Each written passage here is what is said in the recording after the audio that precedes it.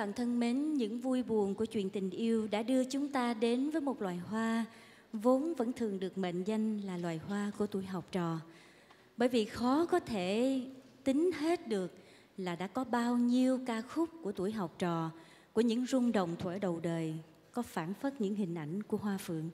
Ngay bây giờ chúng ta sẽ cùng thưởng thức hai ca khúc trong cùng một dòng chảy.